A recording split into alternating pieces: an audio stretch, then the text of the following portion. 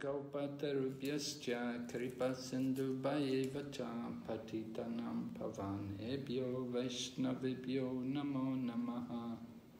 Jai Shri Krishna Chaitanya Prabhu Nityananda.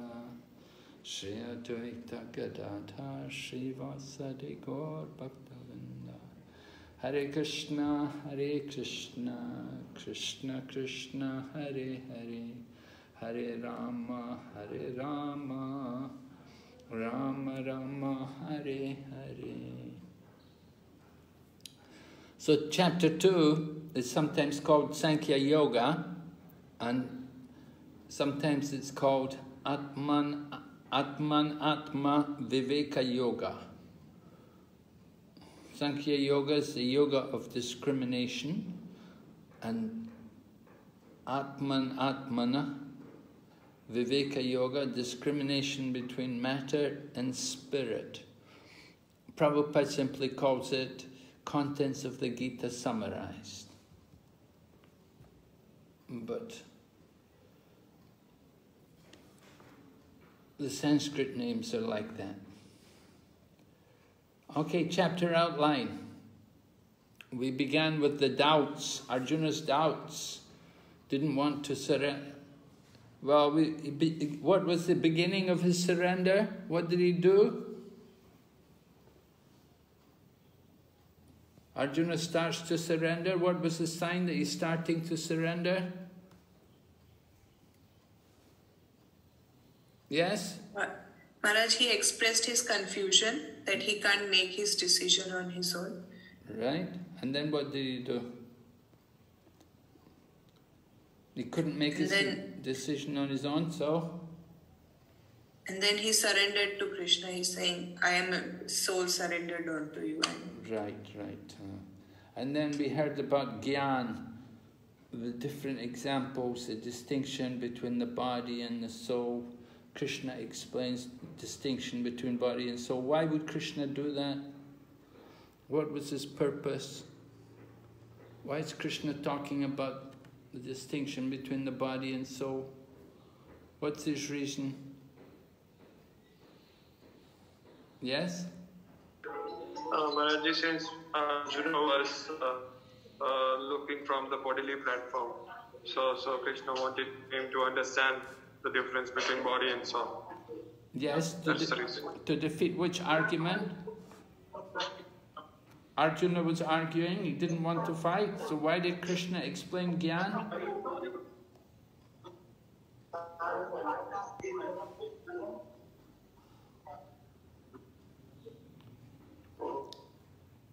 Yes? Oh, Hare Krishna Maharaj, please accept me, I'm uh, Maharaj, uh, Arjuna said that how can I kill all these people? How can I kill my own kinsmen and Remember, there were four reasons why Arjuna didn't want to fight. So this distinction between body and soul was to defeat one of the four reasons. Which reason was it? Sinful reaction, Maharaj? No. Compassion, Maharaj? Huh? Compassion, right. Compassion, compassion. compassion, right. Compassion, right. And then karma kanda. Why did Krishna explain karma kanda? What's that got to do? Karmakanda, that's material. Why is Krishna... Enjoyment, Maharaj. Enjoyment. Oh, yeah. So, can you tell me more? Why Krishna explains Karmakanda? Because Arjuna gives the reason that how he can enjoy uh, after, uh, you know, killing everybody, whom he will enjoy with.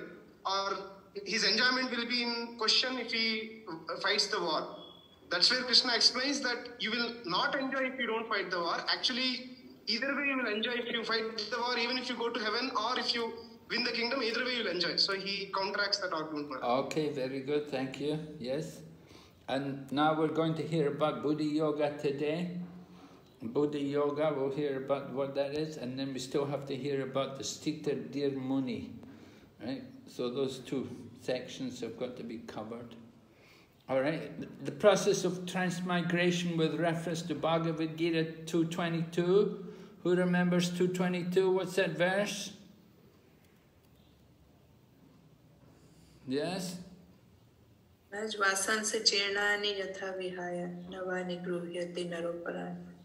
Yes, good, right. So we talked about that, changing the clothes, changing the dress, is just like the change of the body. And we explained also two types of swadharma. What are the two types of swadharma?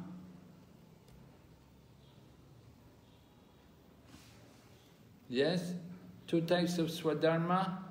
We have one when we're there's a difference in swadharma depending on if you're a conditioned soul or a liberated soul. Right? For the liberated souls, their swadharma to serve Krishna according to their particular relationship with Krishna. And for the conditioned souls, how do they serve Krishna?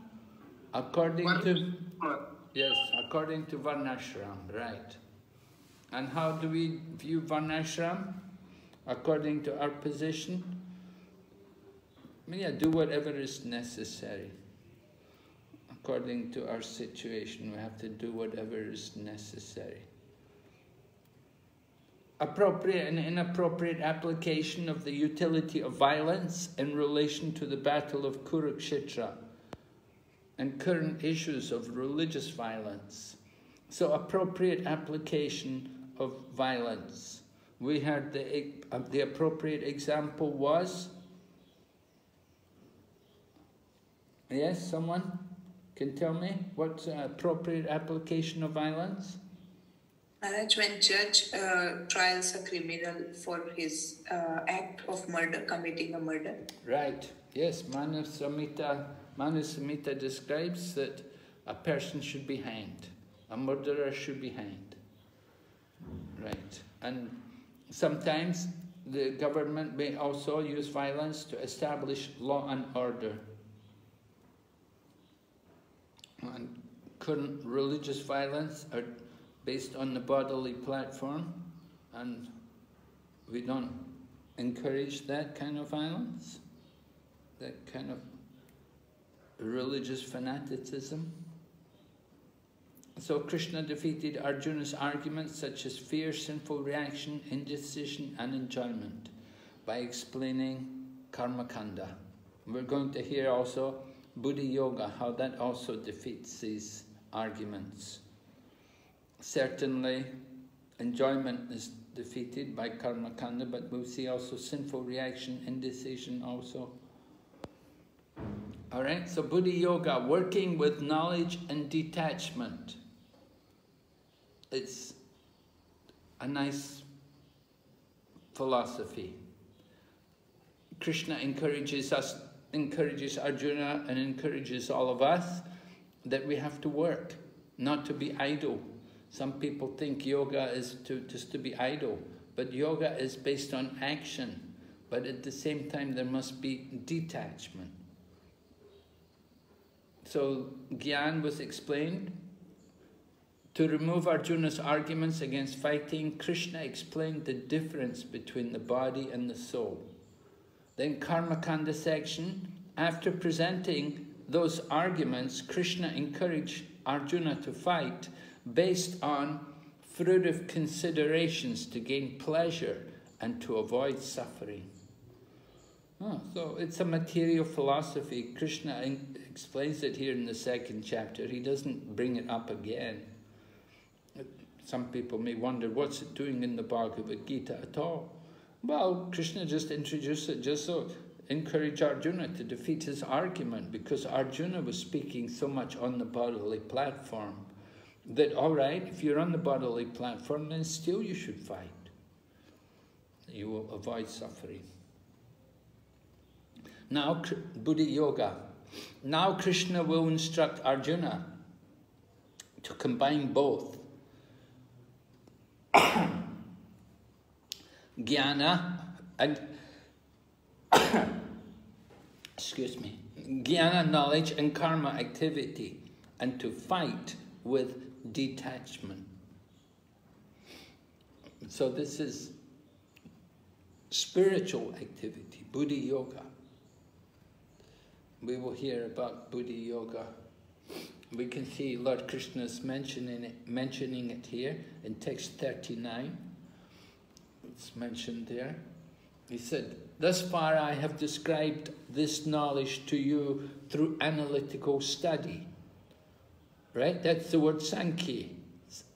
Eshate bihita Sankhya. So Sankhya was Lord Krishna describing the knowledge of the body and the soul, analytical study.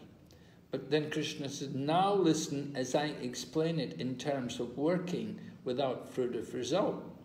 Buddhi yogi vimam shrinu. Right? Buddhi yoga. Hear hear me, I'm going to explain Buddhi yoga. Buddhi, buddhya yukto yaya Partha karma bandham prahashyati. Uh, o son of Pritha, when you act in such knowledge, you can free yourself from the bondage of works. So this is the point. You do Buddhi Yoga, there's no karmic reaction. When you work like that, working with detachment, then there's no karmic reaction. Sankhya. Vishwanath Chakravarti Thakur is describing here. What is a Sankhya? That which properly illuminates the tattva of an object is called Sankhya Yoga. Sankhya Yoga gives complete knowledge about the tattva of the Atma and Anatma. Anatma. The tattva of the Atma and Anatma, the tattva of the soul and the body. So Sankhya Yoga gives us that knowledge. Vishwanath Chakravarti. And then Srila Prabhupada's purport explains, according to the Nirukti, or the Vedic dictionary, Sankhya means that which describes things in detail. The word Sankhya, mentioned herein, has nothing to do with the atheistic Sankhya Yoga. Real Sankhya philosophy is described by Lord Kapila in the Srimad Bhagavatam. But even that Sankhya has nothing to do with the current topics. Here, Sankhya means analytical description of the body and the soul. We should understand like that, the use of the word Sankhya. It's different from Srimad Bhagavatam. Lord Kapila's there, third canto, end of the third canto. But Prabhupada said that, that has nothing to do with what's being used, explained here. Sankhya simply means the analytical description of the body and the soul. So very simple. Then Srila Prabhupada's purport to this verse. The Buddhi Yoga mentioned in this verse is the devotional service of the Lord. Buddhi Yoga means to work in Krishna consciousness in the full bliss and knowledge of devotional service. One who works for the satisfaction of the Lord only, however difficult such work may be, is working under the principles of Buddhi Yoga and finds himself always in transcendental bliss. So Prabhupada's comparing the Buddhi Yoga to devotional service. It's just Buddhi Yoga is to work in Krishna consciousness. It's the same. Work for the pleasure of Krishna. However difficult such work may be, so just like Arjuna, it's very difficult, the work he has to do to fight a battle, to kill people who are his seniors and who are his respected, respect, respectable relatives. But you have to do it and should be in bliss, transcendental bliss. Then Srila Prabhupada's purport to text 51 in second chapter, last line, Prabhupada has written, Service for the cause of the Lord is called Karma Yoga or Buddhi Yoga or, in plain words, devotional service to the Lord. So we don't see really a distinction between, uh, Prabhupada at least he's not making a distinction here between karma yoga and buddhi yoga and bhakti yoga. Although there is technically some dis subtle distinctions, Prabhupada sees them the same thing. Service for the cause of the Lord. That's the point. Subtly there are some differences, but it's all for the pleasure of Krishna. Vishwanath Chakravarti Thakur, he's described Buddhi Yoga as the intelligence resulting from Bhakti Yoga. you see? So Buddhi Yoga is the intelligence we get from doing Bhakti Yoga. He says that. And then Baladeva Vidyabhusan, he defines Buddhi Yoga as Niskam Karma Yoga, incorporating Gyan within itself. So Niskam Karma Yoga with Gyan, with knowledge. So Niskam Karma Yoga is detached work along with knowledge. And so he def defines Buddhi Yoga like that, a little different. And Srila Bhaktivinoda Thakur, he's described the process of Buddhi Yoga is one. It is known as Karma Yoga, while one's intelligence is applied to karma, Gyan or Sankhya Yoga, when one is cultivating transcendental knowledge, and Bhakti Yoga, when one enters the stage of understanding his relationship with the Supreme. Pure Buddhi Yoga is Bhakti Yoga. So Bhaktivinoda Thakur nicely concluded this point, that what is Buddhi Yoga? He said pure Buddhi Yoga is Bhakti Yoga. But if we don't understand the relationship with Krishna, then it's just simply Buddhi Yoga. Like Karma Yoga, you don't really understand the, the relationship. If you're doing Karma Yoga, one doesn't really understand the relationship with Krishna. But in Bhakti Yoga, to do actual Bhakti Yoga, we have to understand the relationship with the Supreme. All right, so those are some different points to make it clear what is actually Buddhi Yoga. Going ahead, Krishna minimizes karma kanda. So we have an exercise for you, right?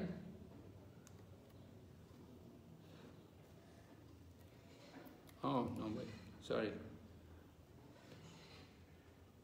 So you can you can uh, work in some... How many people do we have here in the class today? How many, how many students are there today? Yagna? Yagna Prabhu. Yes, Maharaj. How many people are in the class today? 15, Maharaj. How many? 15, 15 Maharaj. Okay, 15, 15. So maybe we can make three groups of five. Or maybe make five groups of three. Be better. Okay, Maharaj.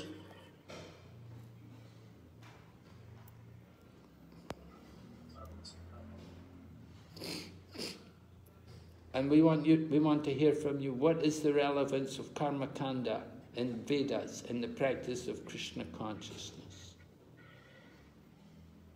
And then, how are the how are the practices of ISKCON authorized from Vedic point of view? This is dealing with verses 40 to 46.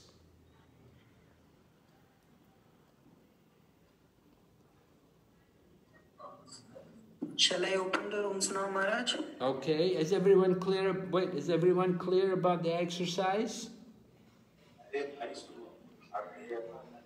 You have to look over verses 40 to 46 and then two questions. The relevance of karma kanda in the presence of Krishna consciousness and how are the practices of ISKCON authorized from a Vedic point of view? All right, you can open the groups.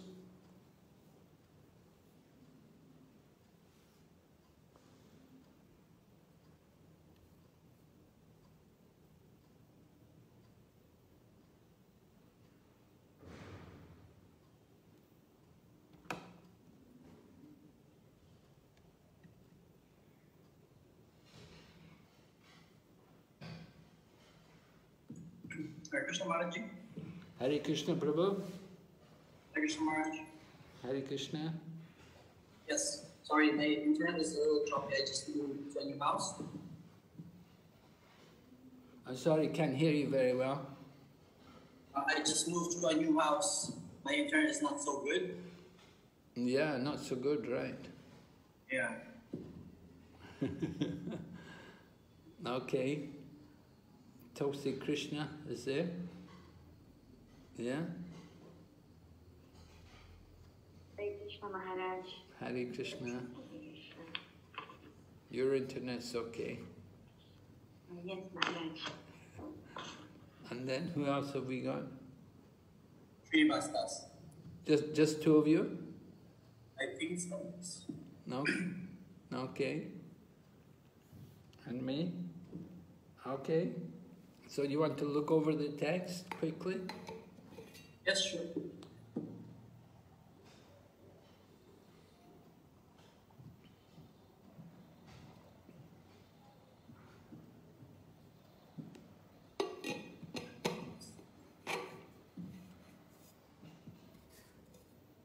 Forty.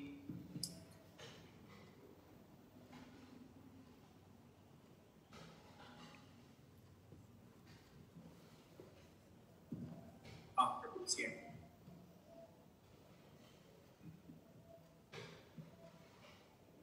Hare Krishna Prabhu. Hare Krishna. Prabhu. Hare Krishna Prabhu. Are you in the group, Prabhu? Hare Krishna Maharaj. Yeah. So we're looking over the verse. Did you look over the verse yet? No, Maharaj, we are looking at it. Okay.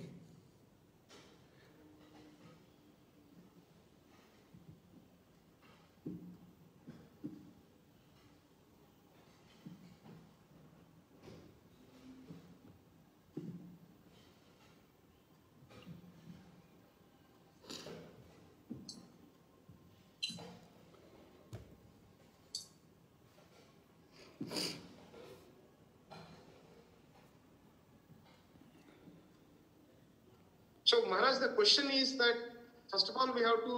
Uh, one question is the relevance of the practices we do in Krishna uh, in uh, ISKCON, right? How are they relevant with this verse? And one question is uh, explain karma kanda with relation to this verse, Maharaj. Am I correct? Well, the first, the first question is the relevance of the karma kanda process in relation to the relevance of the karma kanda process in relation to uh, our Krishna conscious practice. Okay, madam. That's the first question.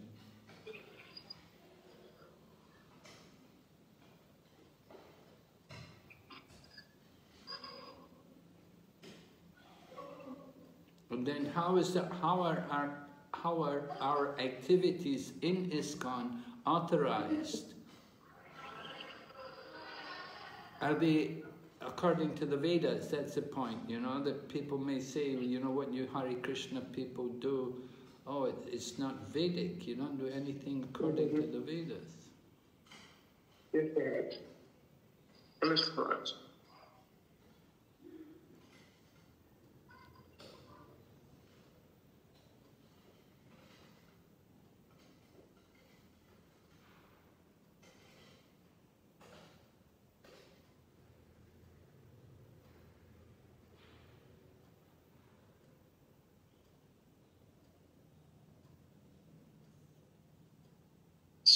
so Pancharatrika Vidhi is not what we should be quoting here, Maharaj. We should quote from this verse. Pancharatriki Vidhi. I mean, whatever practices we have in ISKCON, I mean, uh, the kind, the way we worship the deity or the way we uh, do our things, they are all from uh, uh, Narada Muni's uh, this thing, right? Pancharatrika Vidhi.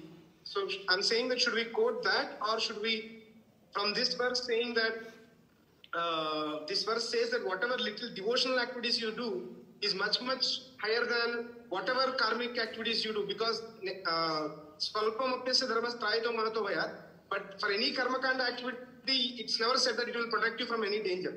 So, which direction we should go, Maharaj? I'm, I'm not able to understand. Well, we follow Pancharatriki, we also follow Bhagavata Vidhi, you know, we're not just following Pancharatriki. Yes, yes, yes. Okay. Yes, Maharaj. Got it.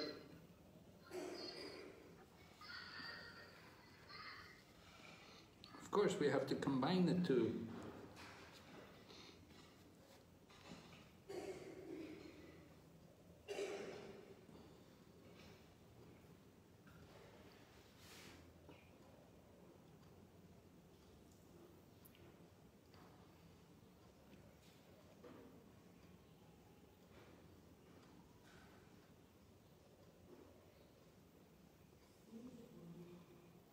Have you ever done any karma kandi activities? Krishna, Tulsi Krishna Maharaji?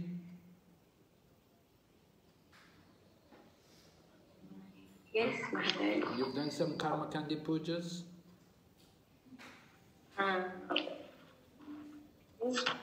Maharaj. Yeah? Where? Yeah. Like the prayers for the departed souls, it's considered as karma kandis. Uh-huh. You did prayers for... Well, there's also Vaishnava prayers, you know that it's not all karma kandi. It depends how, who you get to offer the prayers, you know. Of course, if you go to the karma kandi Brahmins, they will do karma kandi prayers. But if you if you invite a devotee, an ISKCON devotee to come and do the prayers, then they will do it according to the, the Vaishnava standard. Right? Where are you? South Africa? Um, not from Malaysia, Maharaj. Oh, from, you're from Malaysia, okay. So yeah, yeah, of course there's Karma Kandi priests there also, yeah. Yeah. Oh, yeah, you're going to get Karma Kandi people there.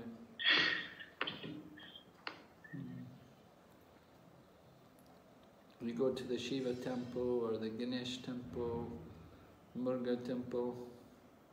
Yes, Maharaj. Hmm.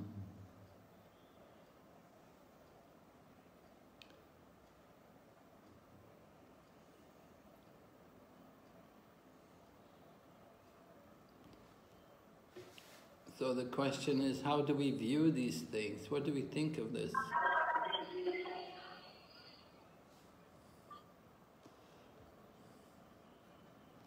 What can we say also about our Hare Krishna devotees? And you know, are we authorized that all? We don't follow any, what shastras do we follow or like that, you know? So people may have these doubts.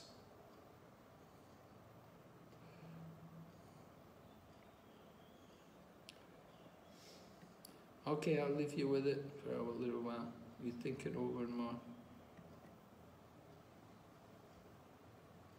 Recording in progress.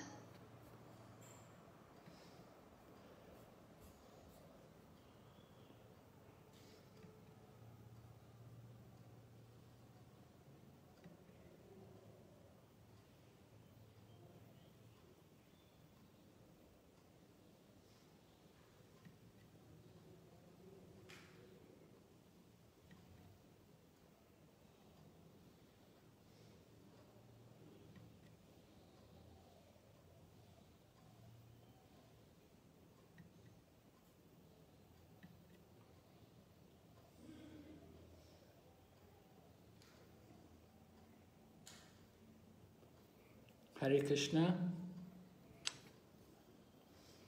Hare Krishna. Oh, oh, you've got so many people in the group here.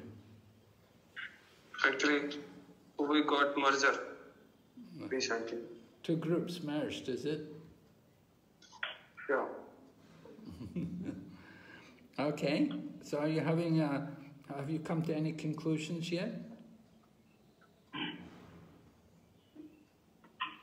We haven't discussed among ourselves. You still, you still, yes, we had. You're still because since this group is a merger, but still we have prepared our points. Uh-huh.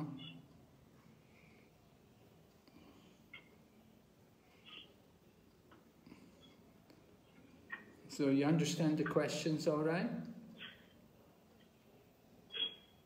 Yes, Maharaj. Okay. If you if you can give us a couple of more minutes, then uh, Okay, go ahead. Give you a couple more minutes. Recording in progress.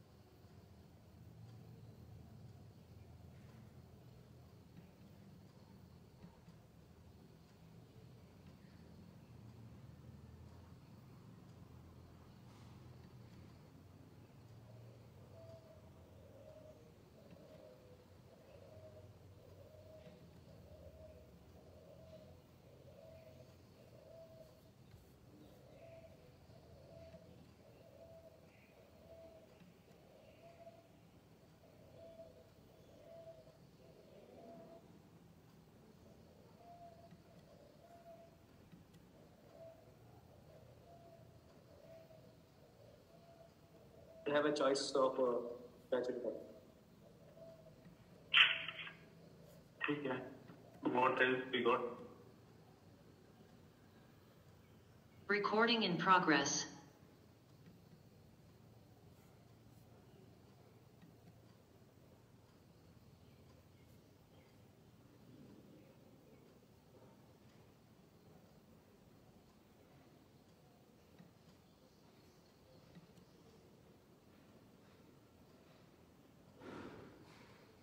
I am just taking ground of all the rooms. What other people are doing. No, there is a internet issue, I guess, with the devotees. That's why they are some are joining and some are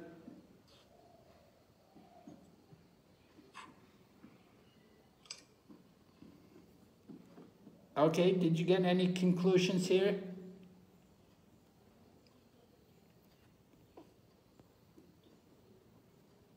Maharaj, we, we studied, we sort of uh, didn't, didn't get opportunity to discuss, but we, we found some points Okay. that karma kand can help one uh, like gradually elevate to self-realization.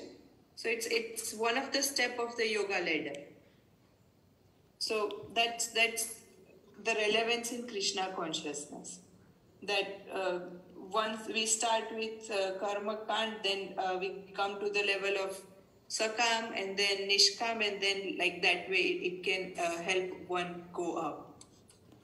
Well, we don't encourage that. Yes, yes, Maharaj.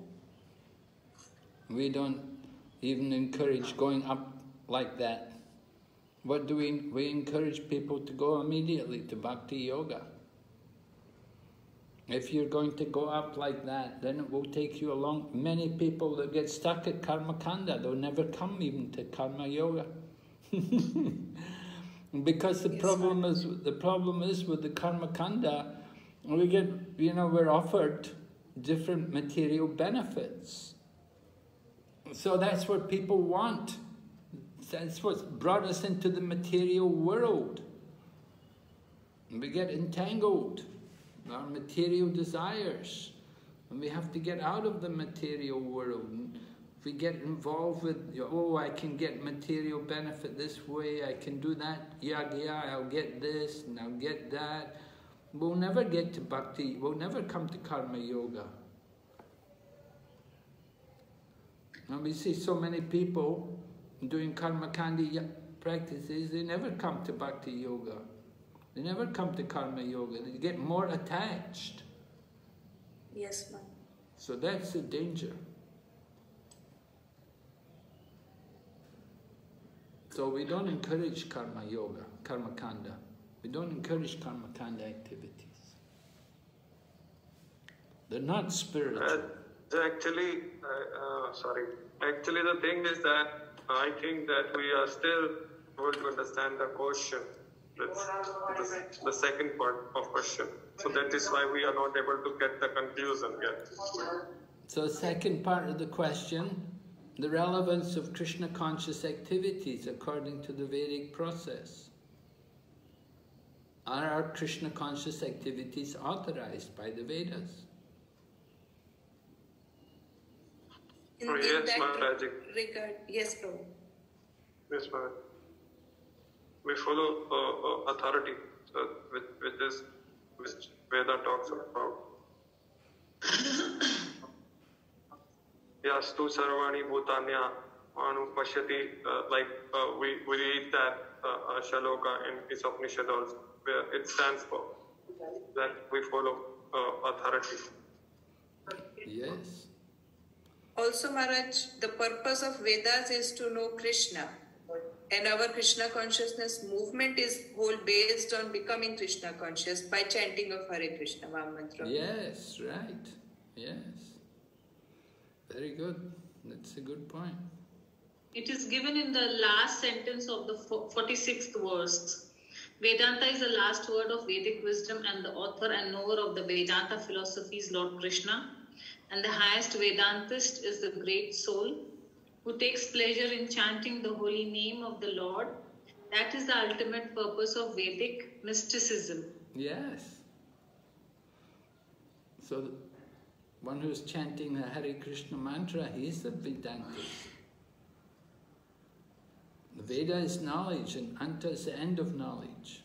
So Vedanta, the end of knowledge, is to know Krishna. So one who knows Krishna, he knows Vedanta.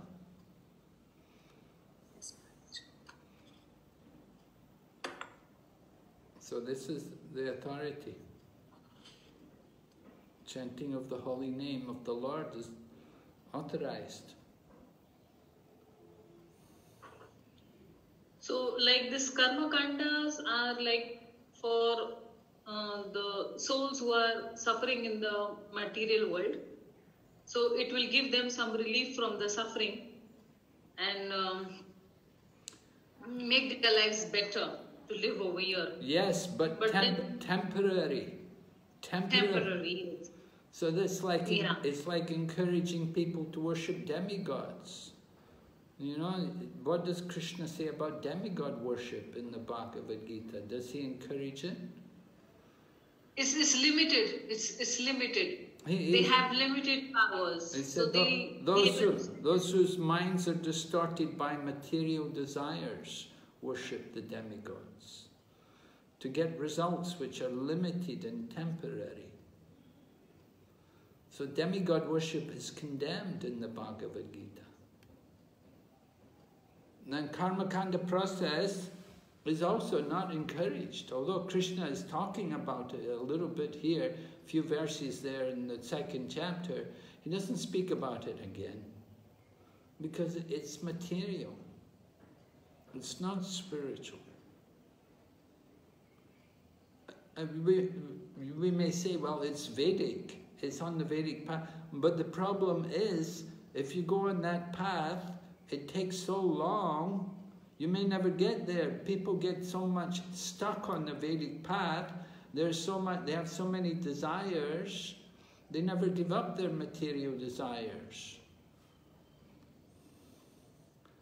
And there's no end to it, one desire after another. You just go on and on. And so the Vedic path, this karma kanda path, is not encouraged.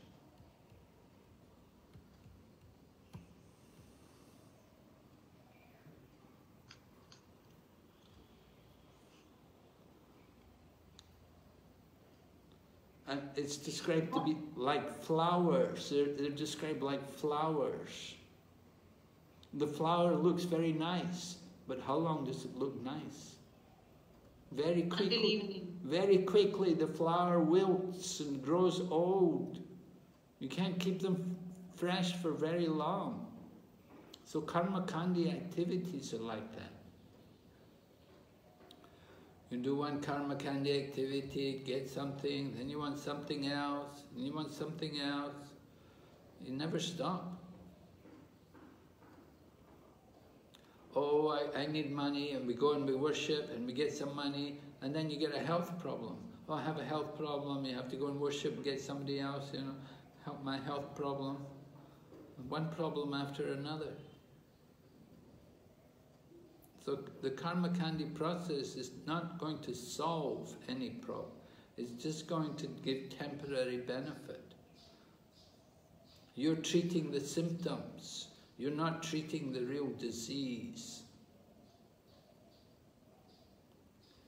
Okay, I, we have to go back. Let's get everybody out and we'll discuss it together.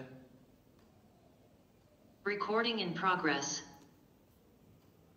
Okay, Yagna, close the room. Okay,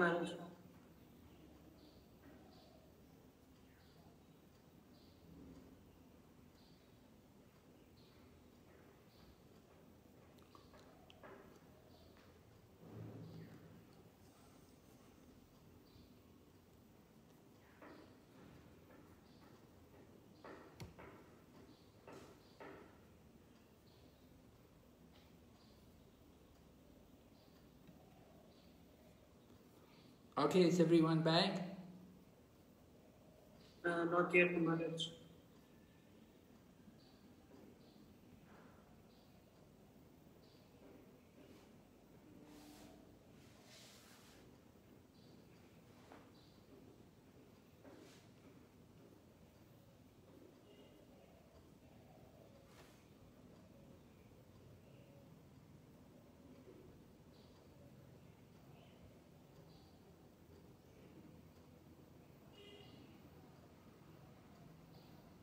Everyone is back, Maharaj. Everyone back now? Yeah? Yes, yes. Okay, uh, let's go back to the slide.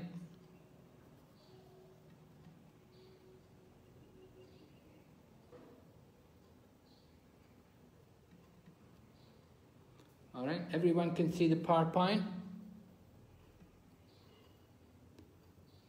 Yes, Maharaj. Yes, Maharaj. Okay, so the relevance of Karma Kanda division of the Vedas in the practice of Krishna consciousness. Is it relevant? No, it's not relevant at all. We do not encourage people to do karma kandi practices in Krishna consciousness. It has no relationship to Krishna consciousness. Now we may think that it will bring me gradually to Krishna consciousness. It's not true. It doesn't happen. There's so many people doing karma kandi practices. They never become devotees. Karma kanda division is only for sense gratification. For people who are absorbed in sense gratification, it's like people who worship demigods. Demigod worship is condemned. We'll see later on in Bhagavad Gita, Krishna condemns the worship of demigods. And the Karma Kandi division is just like that. So it's not relevant to the practice of Krishna consciousness. Anybody argue with this? Well, everyone understand? Yes, Maharaj. Okay, how are the practices of ISKCON authorized from the Vedic point of view? Uh, so, uh, Maharaj, so, uh, like it is said that uh, uh, the practices of the Vedas are actually meant to gradually, uh, gradually elevate a person from sense gratification to transcendence. So, ISKCON is actually providing uh, uh, the living entities who are in this material world struggling very hard for existence to directly come to the platform of transcendence and uh, not follow a gradual process uh, uh, which helps them uh, their sense gratification. So in that way, uh, Maharaj, we can understand the practices of ISKCON. Yeah. Yes, certainly. What you say is okay. Uh, what are the actual activities of ISKCON? Worshipping Krishna? Mar- yes? Maharaj, the, best purpose of Vedic uh, culture is served. However, by chanting the holy name of the Lord, as recommended by Lord Chaitanya, Yes. the deliverer of all, all colleges. Yes. So that is what ISKCON is doing uh, as a practice. Yes, very good. That's a very nice quote, yes. That is certainly authorized from the Vedic point of view. The chanting of the holy name is authorized by the Vedas. And ISKCON is promoting the chanting of the holy name. We're called the Hare Krishna movement because we're always chanting the Hare Krishna mantra. We're known to chant. And so this is it. This is what the Vedas also encourage people to chant the holy name of the Lord. Purpose of the Vedas. Also, Maharaj, uh, uh, as Bhagavad Gita is part of uh, the fifth Veda, Mahabharata, and it is only through Upanishads that one can uh, come to the transcendence. And because ISKCON is uh, stressing on uh, reading Bhagavad Gita and Srimad Bhagavatam, in that way also it is uh, uh, it is uh, following an authorized Vedic uh, practice. Okay. Yeah. Hare Krishna Maharaj. Yes, Maharaj. Uh, the Prabhupada also writes in the purport that the purpose of the Vedas is to know Lord Krishna and not to be become attached to the rituals. And ISKCON is following the, this. Like all the activities done are for the pleasure and service of Krishna, not for us to be elevated to heavenly planets or our sense gratification. Right. Yes, very good. Yes. It's gone. ISKCON, Maharaj, ISKCON is not discriminating between caste, color, uh, religion, and all these things. As you know, it is Prabhupada is writing in his book, but. Yes, right. that the living entity is part and parcel of Krishna. Therefore, revival of Krishna consciousness by the individual living entity is the highest perfectional state of Vedic knowledge. And then it is further being confirmed in Sri Bhagavatam. O my Lord, a person who is chanting the holy name, although born of a low family like that of a Chandal, dog eater, is situated on the highest platform of self-religion. Such a person must have performed all kind of penances and sacrifices according to Vedic rituals and studied the Vedic literature many, many times after taking his bath in the holy places of pilgrimage. Such a person is considered to be the best of the Aryan family. Yes. The one who are chanting and who has taken up this process are above, you know, all these karma kandik uh, rituals and uh, what to say, rules and regulations. Yes, very good, very good quotes. It's a very important section. Thank you very much. Okay, let's go ahead.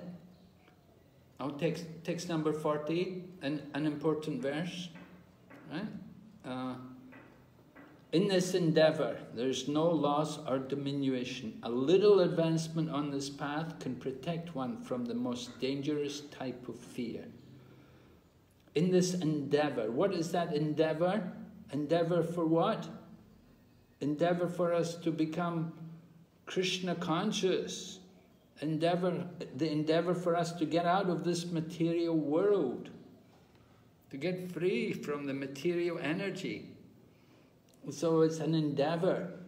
And if we make a little, uh, even a little advancement on the path, swalpam, oh, very meagre, a little advancement, but it will save us from the most dangerous type of fear, trayate mahatobhayat. What is the most dangerous fear? What is that most dangerous fear? Losing the human form. Uh-huh. Yes, Prabhu, what did you say? Losing the human form of life. Right, losing the human form of life, falling down into the animal species or lower species of life, That is the most dangerous type of fear. So a little advancement on this path can save us from that danger. And it's also mentioned uh, there is no loss or diminution. Pratyavayona vidyate. Uh, uh, there's no loss.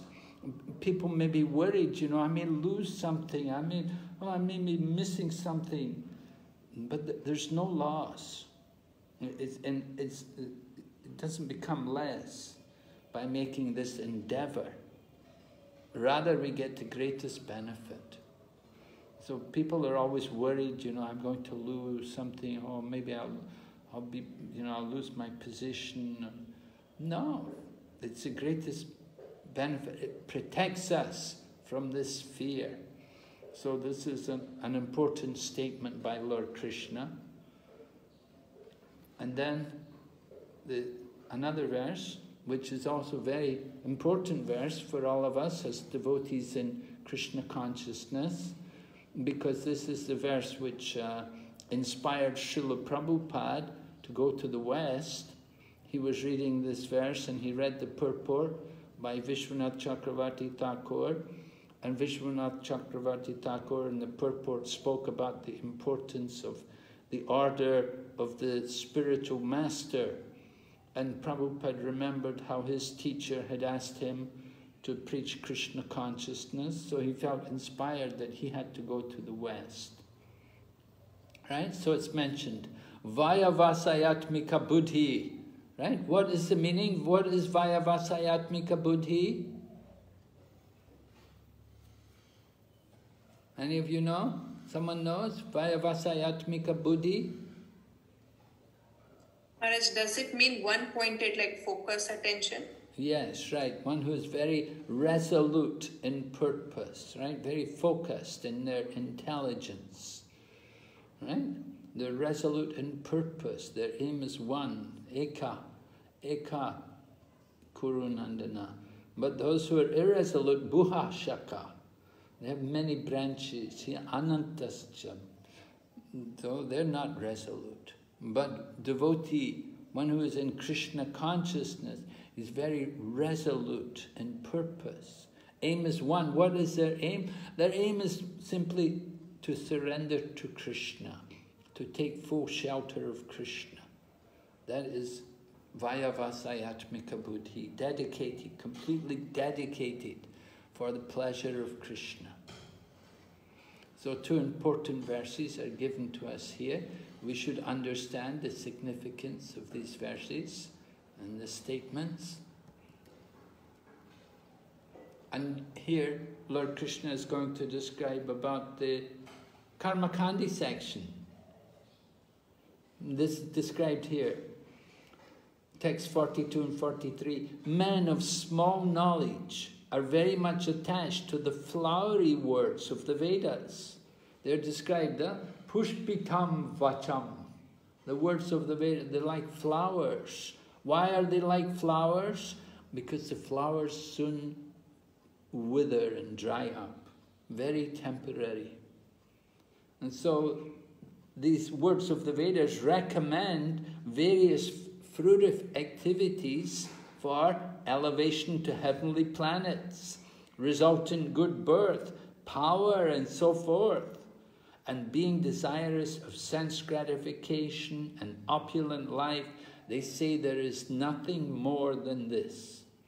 So this is very dangerous thing to get into. You get into this kind of thinking, you never get out. You get so entangled with it. We're thinking about, uh, oh, going to the heavenly planets and enjoying there and a good birth and having all the, all the sense gratification. And it's one thing after another. So this is not encouraged at all. And as described here, they, they say there's nothing more than this. This is what happens. They don't think that, oh, this is only the beginning and we're going to something higher. Nobody takes up karma kandi thinking like that. that once they get it, they go into karma kandi, they, this is it. There's nothing higher than this. So they never come out. So very dangerous. We have to be, we keep away from these things, karma kandi activities. Not at all encouraged for Krishna conscious devotee.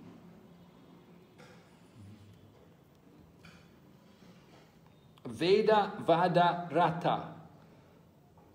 Mm -mm. Veda Vada Rata. Prabhupada, was that mentioned? Is it mentioned there in the, uh, comes in, yeah, the Veda Vada Rata, the third line, right?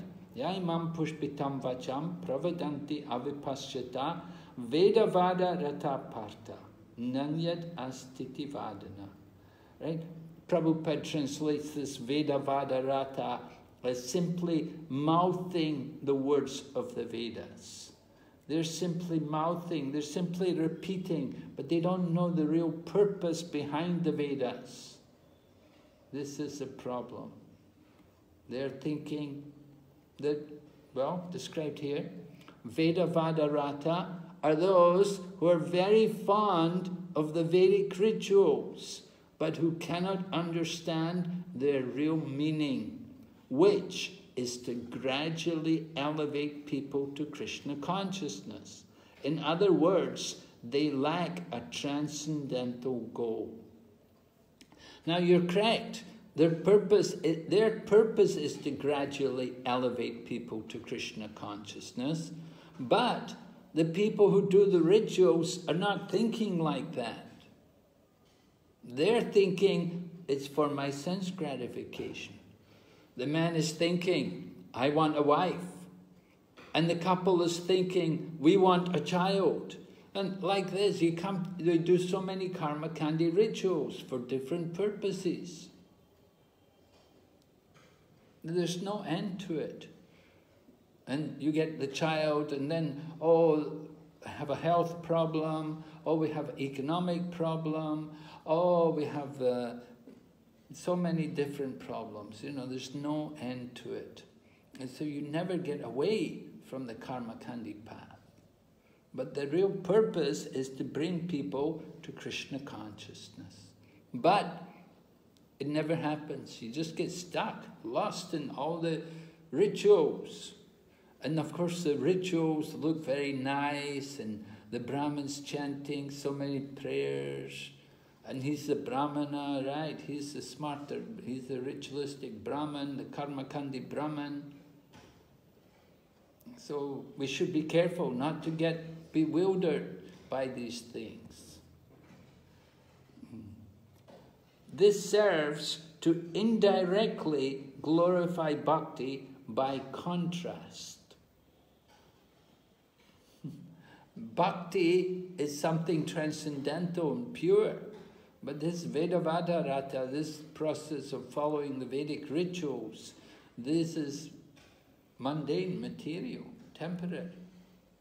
So in this way it glorifies bhakti. Bhakti gives much something much higher. And the example from Srimad Bhagavatam, Maharaj Prachinabarhishat engaging in karma kandi activities. Those of you who have read fourth canto Srimad Bhagavatam, may remember about Prachinabarhishat, and he was killing so many different animals as a sacrifice. But fortunately, he was enlightened by Narad, who told him the allergy of Puranjan. Puranjan means one who enjoys in the body.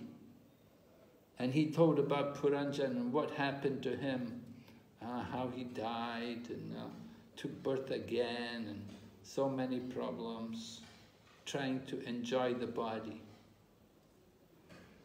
So Narada Muni warned King Prachinabarhishat about the nature of these karma kandi activities and how all the animals he was sacrificing, they were going to wait and next life he was going to have to suffer because he'd killed all, all of these animals. So he was going to get a lot of pain and suffering himself. So we don't do karma kandi activities. And Krishna also says, text 45, Trigunya Vishaya Veda, nice Trigunya Bhavarjuna. The Vedas are dealing with the three modes of nature. Rise above these modes, Arjuna. become transcendental to these modes. So karmakandi activities are in the modes of nature. And Lord Krishna tells Arjuna, get out of, don't do these karmakandi activities. Rise above the modes, be transcendental. So Lord Krishna himself minimizes the karmakandi process. Although he presented it initially, now, in the same chapter, just a few verses later, Lord Krishna is minimizing it. He's telling Arjuna, give it up. Become transcendental. And by doing bhakti yoga, then we come to the stage of nirguna, or above the modes of nature. I'll read. When the activities for sense gratification, namely the Karma Kanda chapter, are finished, then the chance for spiritual realization is offered in the form of the Upanishads, which are part of different Vedas, as the Bhagavad Gita is a part of the fifth Veda, namely the Mahabharata. The Upanishads mark the beginning of transcendental life. Yeah, I think somebody quoted this, right? As long as the material body exists, there are actions and reactions in the material modes. One has to learn tolerance in the face of dualities, such as happiness and distress, or cold and warmth, and by tolerating such dualities, become free from anxiety regarding gain and loss. This transcendental position is achieved in full Krishna consciousness when one is fully dependent on the goodwill of Krishna. So this is the idea. We want to come to that stage of depending on Krishna. This is Bhakti Yoga. Bhakti Yoga is nirguna. It's a pure state of spiritual existence. Hmm? All right. Going ahead, Prabhupada explains the highest Vedantist, right? We were talking about Vedas. Uh, is ISKCON authorized? Prabhupada explains the highest, the best purpose of Vedanta philosophy is served by inoffensively chanting the holy name of the Lord. So that's important. Without offense, pure chanting of the holy name. The highest Vedantist is the great soul who takes pleasure in chanting the holy name of the Lord. Right? We don't want to be forced to chant the holy name, right? We take pleasure in it. It's a, our pleasure, we enjoy it. So that is the that is the real purpose of Vedanta. Okay, going ahead. Lord Krishna is explaining about Karma Yoga or Buddhi Yoga. And here's the nice verse, Karmani Vadikaraste, meaning Arjuna's adhikar, his qualification or his eligibility is for work or for karma. Arjuna is meant for karma. Lord Krishna is recommending karma yoga here. He's encouraging Arjuna to do karma yoga. Right? So, uh, but then Lord Krishna qualifies this karma yoga. He says, Ma palishu kadachana, meaning you are not entitled to the fruit. so this is uh, very important. You know, people are fond of this verse. We often quote this verse, and many people are familiar with this verse. And many materialistic people like to quote this verse. And they say, Lord Krishna says in the Bhagavad Gita, I have a right to work. Lord Krishna told Arjuna to work. He's telling all of us we can work, I can work. But they never quote Ma Paleshu Kadachana. Nobody, they quote the first Karmani Evadikaraste. That they, they don't know Ma Paleshu. Nobody will say, yes, Krishna said we're not allowed to enjoy the fruit. No, nobody will say that. They'll say we're allowed to work, but they all work for their own sense gratification. So this is the misunderstanding. This is in, in, inappropriate use of this verse in Krishna consciousness. You see how it's wrongly applied? Hmm? What are the appropriate and inappropriate application of the phrase karmani evadikaraste? Yes? Somebody like to answer? What's the appropriate karmani evadikaraste? We're speaking about the qualification to work. In what ways will it be appropriate? In what way will it be inappropriate? Uh, Krishna? Yes, Prabhu? Maharaj, appropriate it will be by, you know, devotees, they have dhairya while practicing their Krishna consciousness. They should be patient. Because so many times we do our activities and then we immediately think of results. So we should be a little patient. We should just focus on our uh, chanting and our spiritual activities, not to be attached with the results of that. So this will be the appropriate uh, application of this. The, you're saying the, uh, the appropriate application will be that we just do our work and... No, we just, I'm, I'm saying in terms of our spiritual in terms of our spiritual life. And I'm sorry, your voice is your voice is breaking, Prabhu. Yeah, in terms of it's difficult for me to hear everything you say because your voice is breaking. Eh, can you try again? Tell me.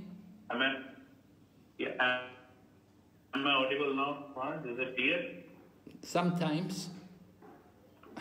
Okay, I'll, I'll, I'll try to repeat it again. Yeah. What I was saying that if we see this uh, analogy or application of this verse in our spiritual practice, then you know the appropriate thing is that we must focus on our uh, you know spiritual activity, uh, whatever it is, like following 16, uh, following four regulative principles, 16 on standing, and we must not get attached to the result of what I'm getting you know, in return of that. So a devotee must have dhairya while practicing his spiritual activity. But what about our material activities? What about other activities which you do? Not uh, besides the chanting, you know, other things. Like Arjuna, he's going to fight a battle, you know. Uh, uh, you know, is that spiritual? If he is fighting at the will of Krishna, yes, it is spiritual. Okay. If he fight. So you're saying everything ultimate for the devotee, if one is in Krishna consciousness, everything is spiritual. Yes, Maharaj. Okay. So then the appropriate mood is there. What then what's inappropriate? Inappropriate is, you know, I had done something and nobody has given me any, you know, like hankering for hankering for appreciation and hankering for, uh, you know, recognition. Again, I'm talking in spiritual sense. Okay. One wants to be recognized, honor, distinction. Yeah. Uh-huh. All right. Anybody else like to comment on this? Maharaj, inappropriate uh, uh, could be some people say that work is worship or work is everything. We just have to do our duties. Rest, nothing is important. Okay, yes, that's an interesting one. You bring up that quote, yeah, people say work is worship, and they just do work, and and then what happens to the fruit, right? What happens to the fruit? The work is worship, but who gets the fruit? Oh no, that's that's separate. Don't worry about the fruit. Yes, work is worship. Uh, it's certainly used a lot. People are fond of that. They like to justify their absorption in material life and in their activities. And they think that's that in itself is worship.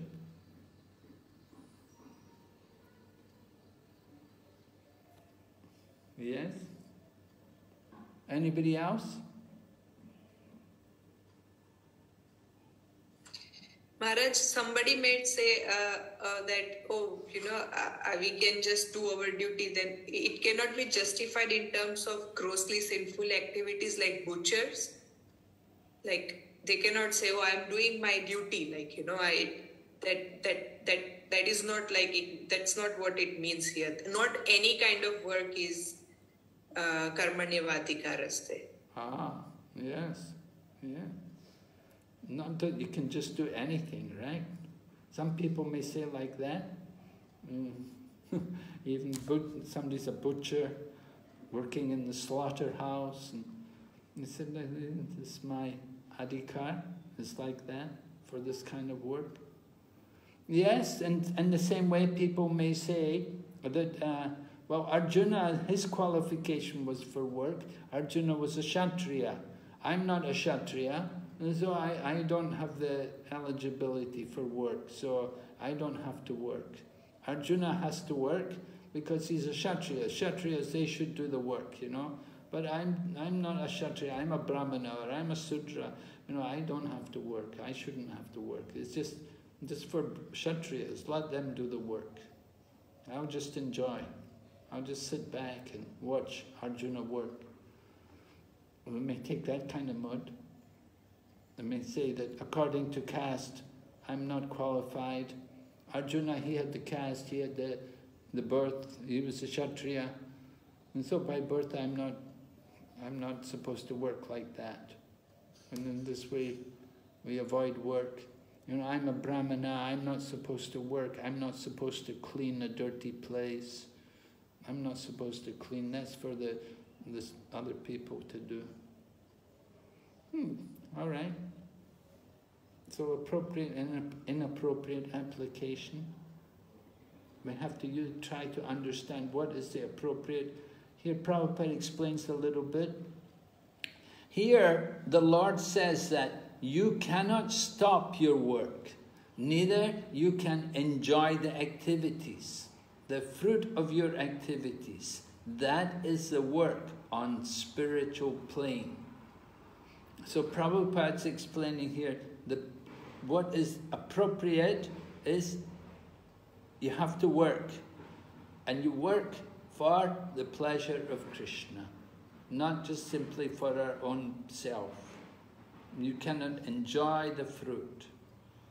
We have to work on the spiritual plane.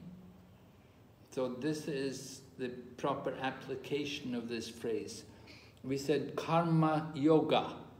Karma yoga, it means karma is, it's not just karma, but it's karma yoga. So it's working for giving the fruit to Krishna. So this is the idea, that we have to work. And, uh, but if we work for our own pleasure, then it's, that's karma. It's not karma yoga.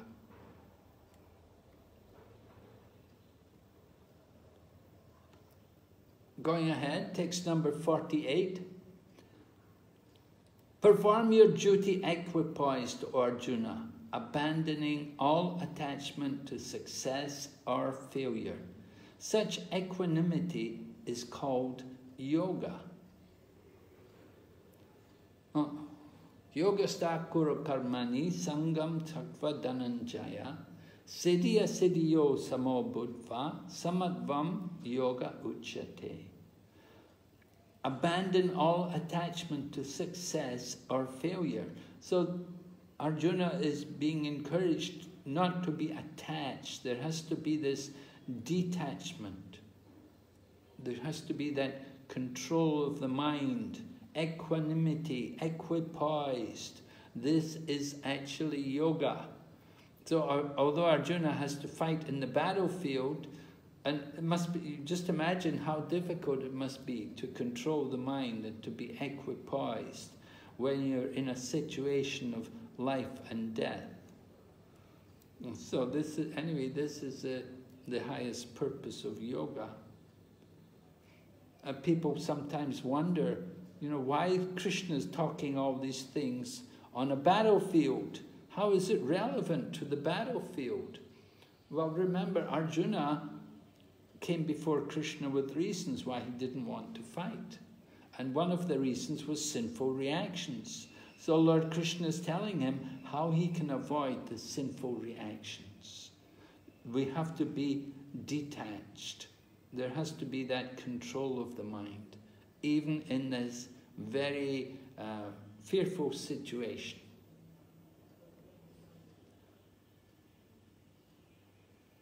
Prabhupada quotes in the purport, Lord Krishna now directly says that Arjuna should fight for the sake of fighting because he desires the battle.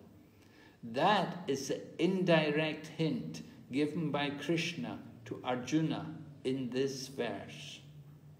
Right? And then quote, that's from text 38, and then from 48, both purports, in text 48, Prabhupada written, indirectly, Arjuna was advised to act as Krishna told him. So let's look again, text 48. Yeah, here we have. Krishna is telling Arjuna he wants him to fight. So even in the beginning of the Bhagavad Gita, second chapter, Lord Krishna is already encouraging Arjuna what he wants him to do. Indirectly, he didn't directly come out and say it, but you can see the implication is that Arjuna should fight, that he should do what Krishna wants. So this is the instruction. Going ahead, text 49. Lord Krishna condemns desirable activities, kamya karma, desirable activities. Kripana pala hetava, those who want to enjoy the fruits of their work are misers. All right, we heard karmani evadikaraste ma palishu kadachana. We should not want to enjoy the fruit. And now Lord Krishna is saying, you want to enjoy the fruit of their work? This is a miserly person. We're just thinking about only our, we're thinking only of our own benefit, our own self. So this is not encouraged. You, if you look back to the purport, uh, chapter 2, text number uh, 7, where Krishna, where Arjuna surrendered to Krishna, in the purport, Prabhupada talks about the Brahmana and the Kripana. The Brahmana is the generous person, and the Kripana is the miserly person. And Prabhupada explains the nature of the miserly person. They have the human form of life. They don't want to use it for self-realization. The Brahmana, he is the generous person. He will do everything for others without thinking of his own self. He's willing to give everything. He can sacrifice his body for the benefit of others. So the Brahmana is the, the opposite of the Kripana. We want to become on the Brahmanical platform, like that. We want to become Brahmanical in nature. Don't be miserly. Don't be a Kripana. All right? Text number 50. A man engaged in devotional service rids himself of both good and bad reactions, even in this life. Therefore, strive for yoga, which is the art of all work. A man engaged in devotional service.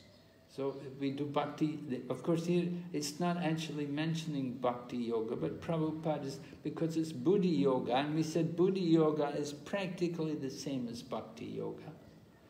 So you do buddhi yoga or bhakti yoga, no difference.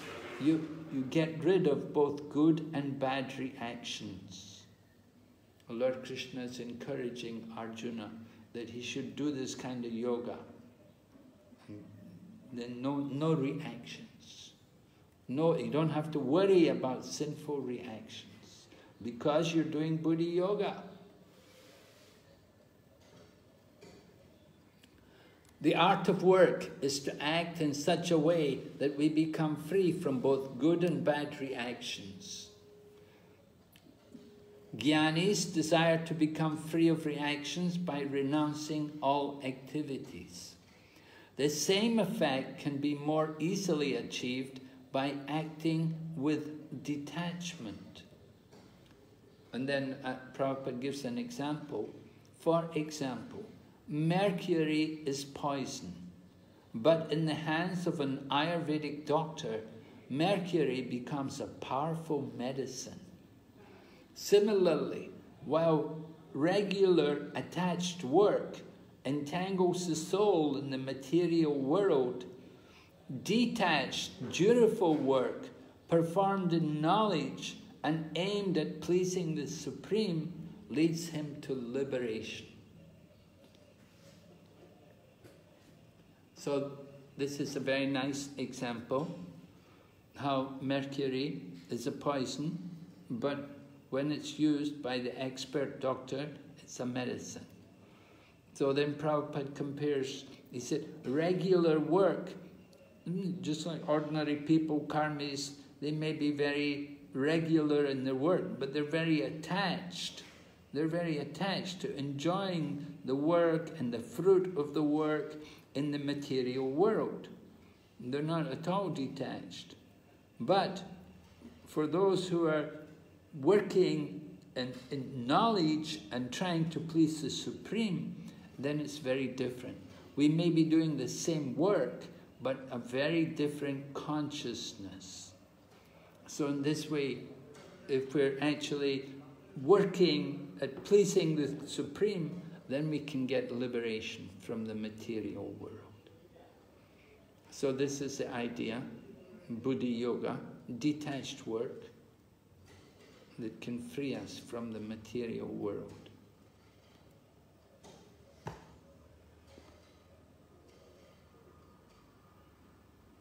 The Gyanis, on the other hand, they want to stop all activities.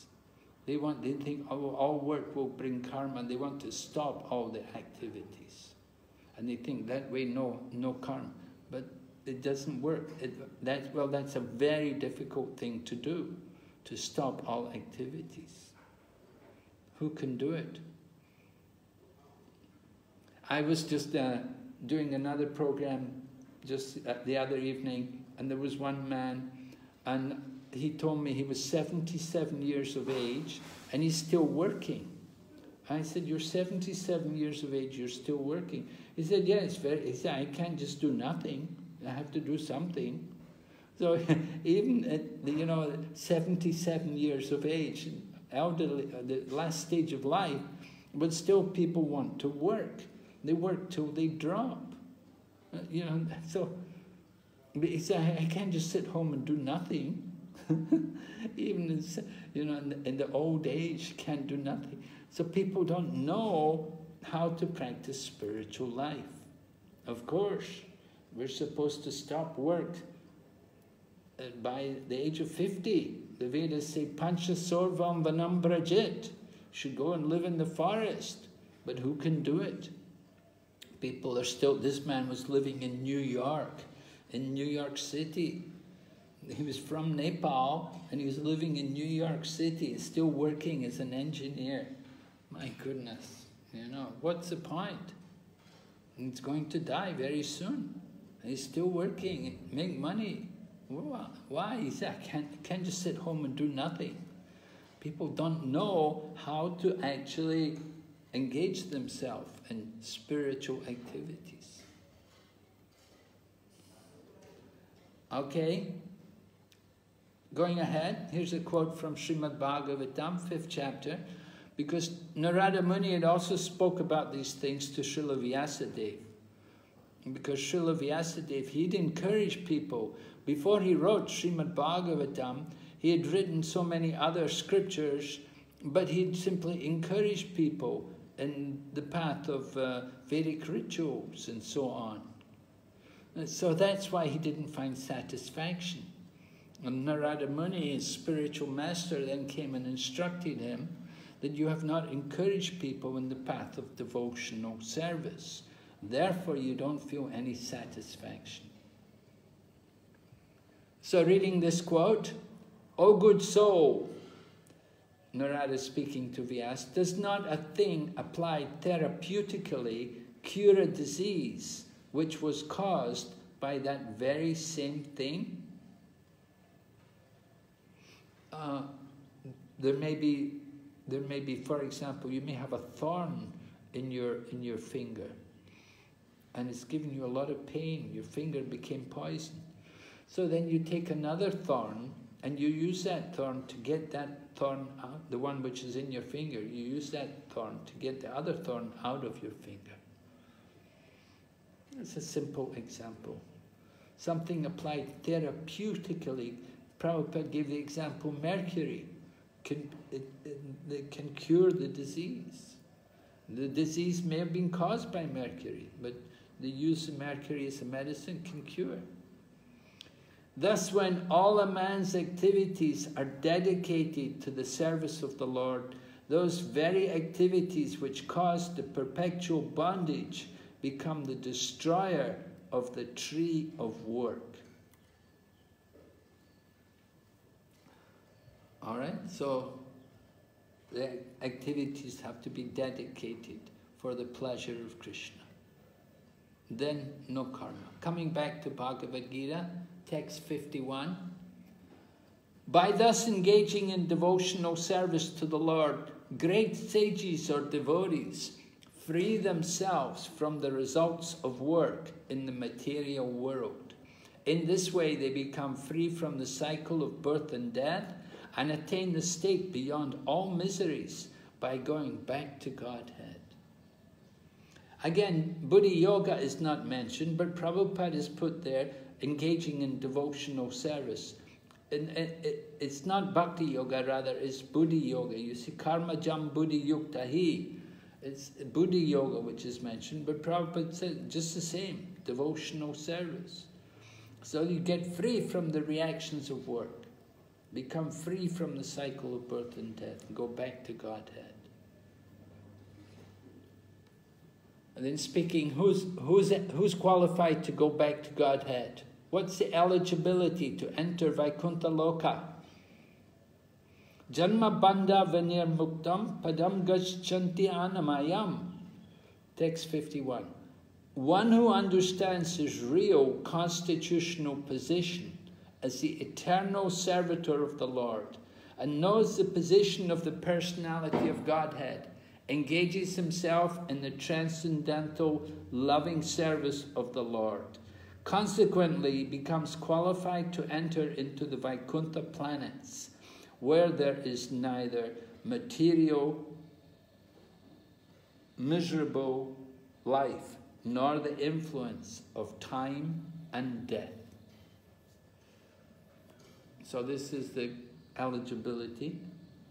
We have to know the position of Krishna and we have to engage in his loving service. So that's what's required. You want to enter, just like you want to go to America, you have to have a visa.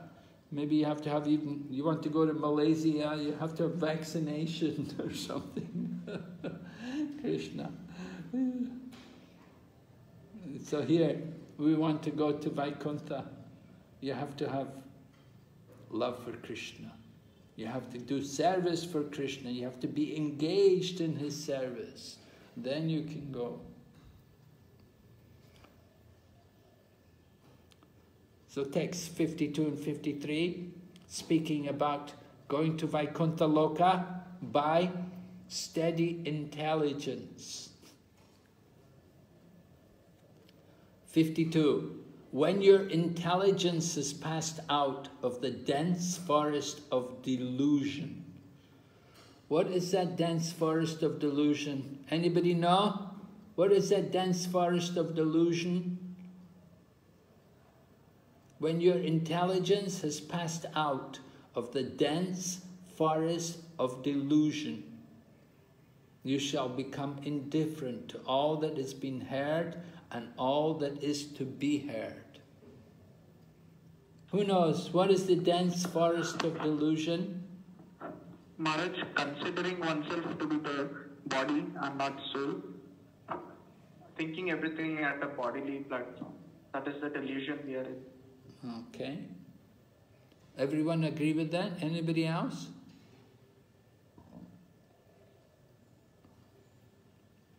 Okay, 53. When your mind is no longer disturbed by the flowery language of the Vedas, and when it remains fixed in the trance of self-realization, then you will have attained the divine, the divine consciousness. Now, why is the Vedas described as flowery language? Someone explain to me, why is the Vedas described as flowery language? Yes? Raj, because they are not, uh, as the flower dwindles by the end, like, you know, after some time, the benefits derived from studying Vedas also are not permanent, like temporary. Yes. But also the, the flowers look very attractive, right? Flowers are very beautiful. We have a fragrance, they have color. They're so nice, they look so good, right? But, of course, very temporary. So the language, the Vedas is like that. It's very attractive. We hear it. Oh, so nice, you know. So we should be careful not to be bewildered. So when we're no longer disturbed by the Vedas and we're fixed in self-realization, then we have come to the divine consciousness. All right?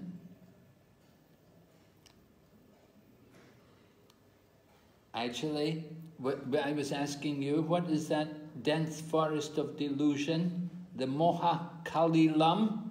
Moha Kalilam, the dense forest of delusion. Here, Krishna compares Karma Kandi section of the Vedas to the dense forest of delusion, of illusion. So it's not just simply thinking we're the body, but it's that particular idea that, you know, we'll use the Vedas to satisfy our material desires. The Karma Kandi section of the Vedas, which promises so many things. Go to heaven, all the things we want, all material needs, everything. We'll just do a Vedic ritual, we'll get everything we want. We'll solve all of our problems by Karma Kanda. This is the forest of illusion, right? Moha Kalilam.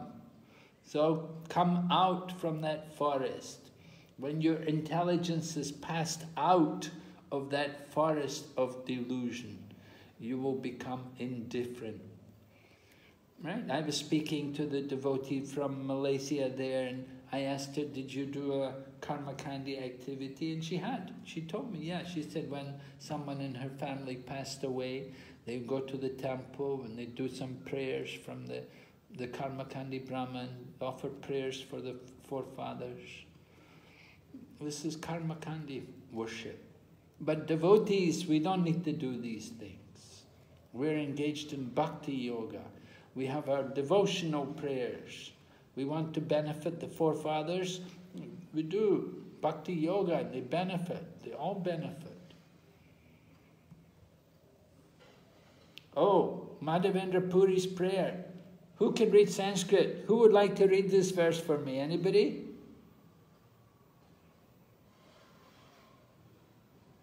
I'd like to hear you chant it. I don't know what the meter should be. Any of you good in Sanskrit? Some of you chanted very nicely previously. Yes? Who would like to chant? Go ahead.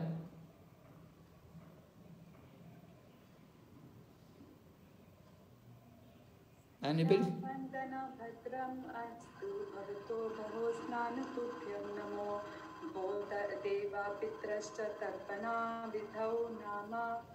क्षमा शम्यतं यत्र क्वापि निषाद्य यादवा कुलुतो कुलुतं सस्य तं सदृशा स्मारं स्मारम् अघं हरामि तद् अलं मन्ये किम् अन्येन मे Very good. Thank you, Mataji. Very nice. Please, you can read the English, Mataji? O my prayers three times a day, all glory to you. O bathing, I offer my obeisances unto you. O demigods, O forefathers, please excuse me for my inability to offer you my respects. Now, wherever I sit, I can remember the great descendant of the Yadu dynasty, Krishna, the enemy of Kamsa, and thereby I can free myself from all sinful bondage. I think this is sufficient for me. So, what's the point here? Why did Prabhupada quote this verse in the purport?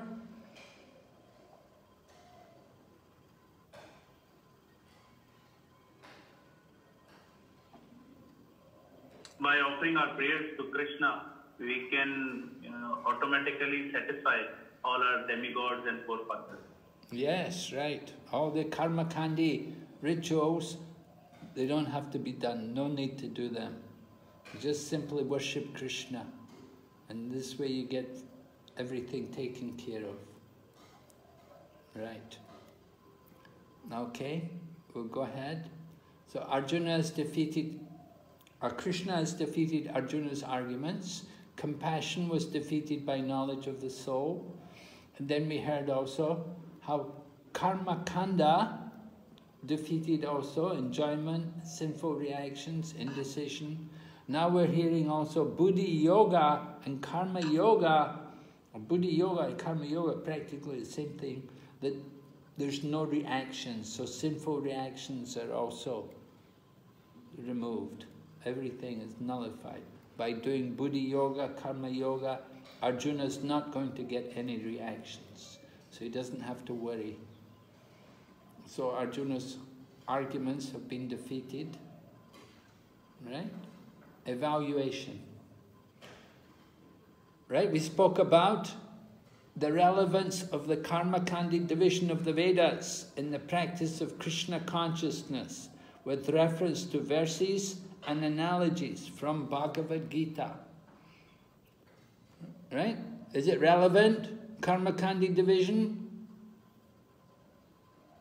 We evaluate, we evaluate not relevant, right? Not necessary for us in Krishna consciousness. Oh, these people are more, these people doing karma kandi activities, they're on the bodily platform, they're going to be entangled. They think there's nothing else.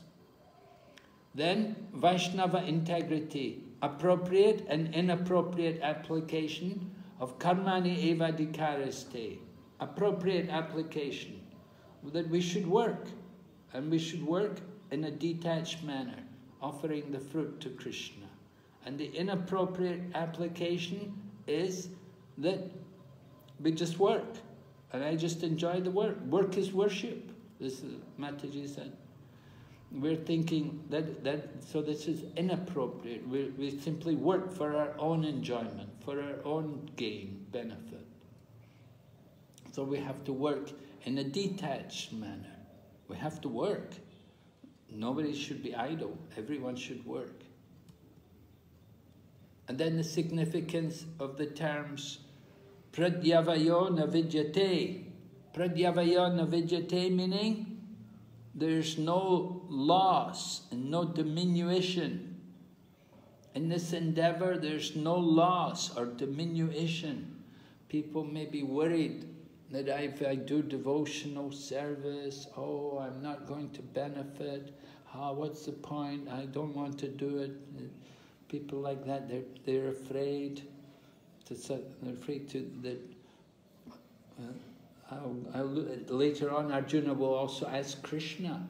That late in the sixth chapter, we see Arjuna asking Krishna that, what if I take to this process and I'm not successful?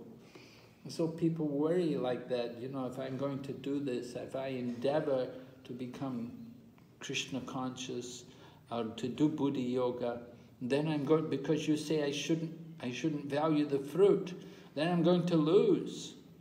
But Krishna said there's no loss and no diminution. You don't lose anything. Rather, you get the greatest benefit.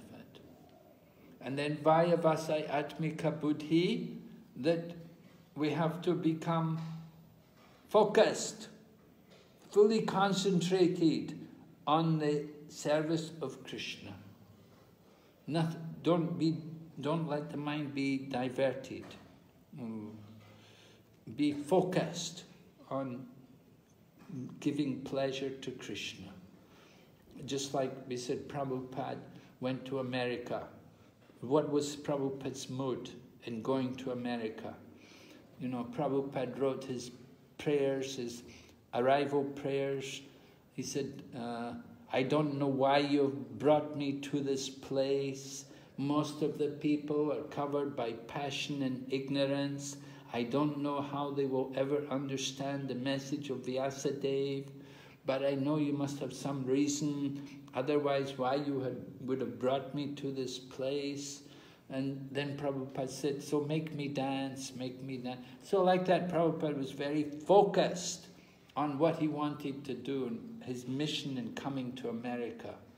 He didn't come to just look, he came to do something. So he was very focused on what he wanted. And that, that's very much important, very essential for devotional service. Right? Okay, concluding quote here. Karma means work with some fruitive result. I am working in Krishna consciousness just to get some profit out of it. No, this should not be done.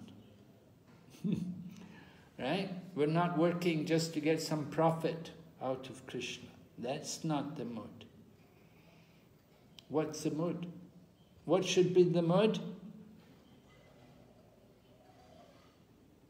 What should be done?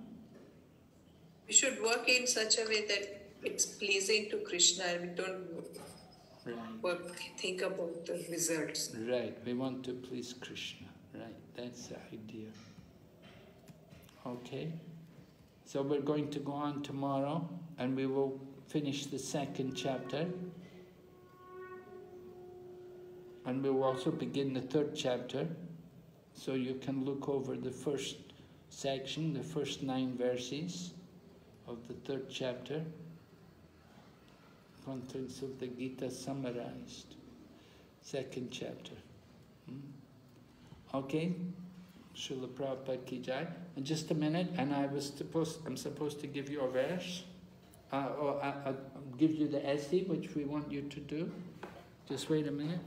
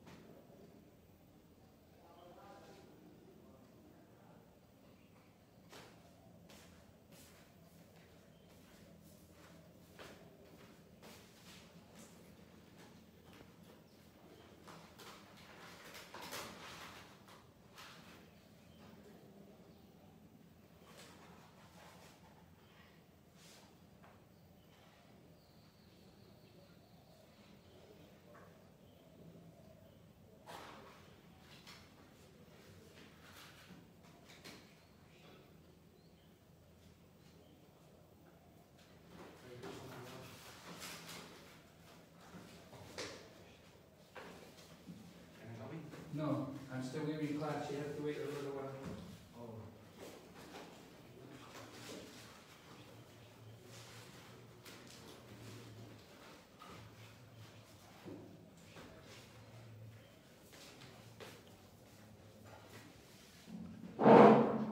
Oh. Oh. Look, I'm sorry, uh, somebody's taken my book away from me. I don't have my book but I wanted, there was one essay which we, I was going to give you to do. It was concerning about lust. Have you got your, have you got the book there?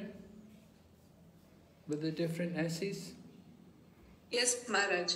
Do you see that essay? There's one essay about writing about conquering lust.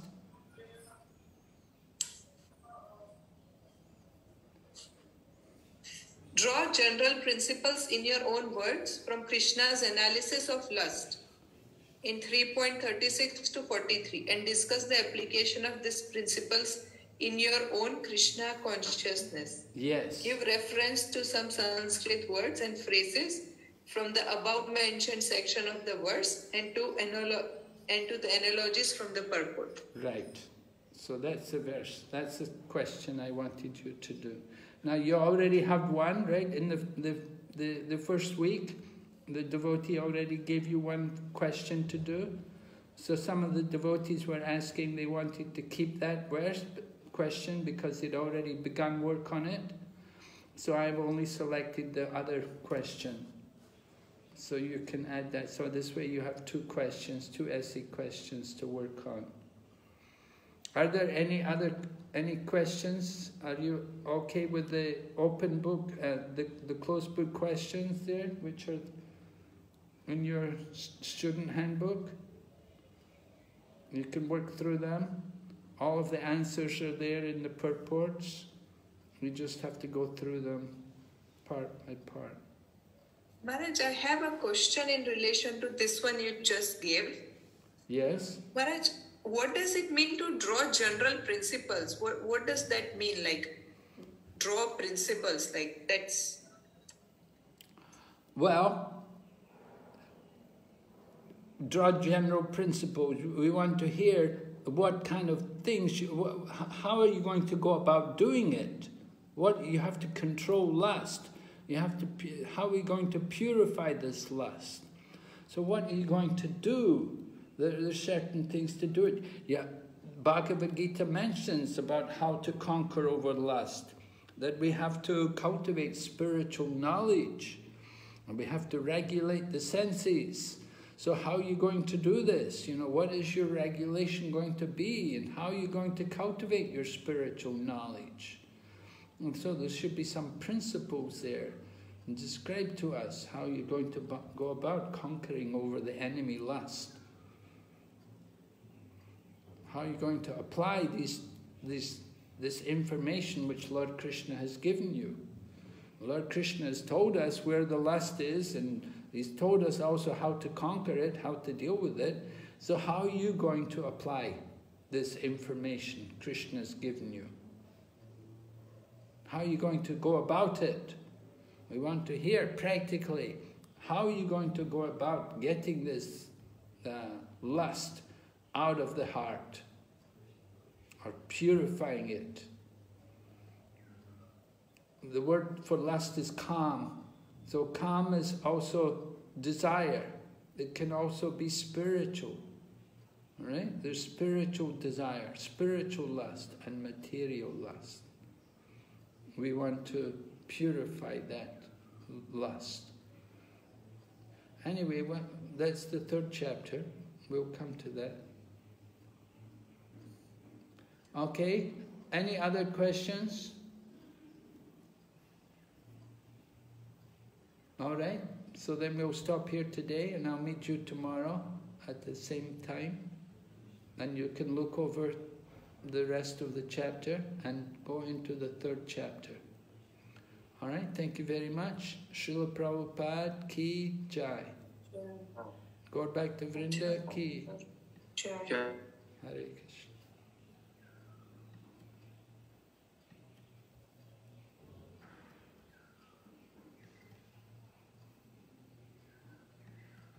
Okay, Prabhu.